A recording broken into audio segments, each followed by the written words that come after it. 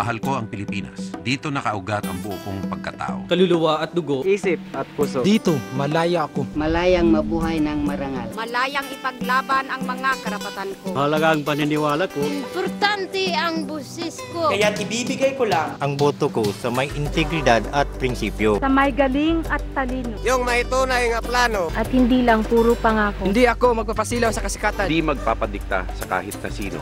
Gagawin lang ang tama at nararapat. Para maging mas dakila pa ang Pilipinas kong mahal. At ngayong may pagkakataong magbago muli. Magsisikap akong maging mas mabuting Pilipino. Mas may malasakit sa kapwa. Ito ang pangako ko. Sa aking mga magulang at sa aking kapwa Pilipino. Sa aking mga anak. Sa aking mga mahal sa buhay. Naniniwala akong posibleng makamit ang mabilis na pagunlad. Sa ngalan ng Panginoon. Sa pagkakaisa at pagsama-sama, ako ay Pilipino.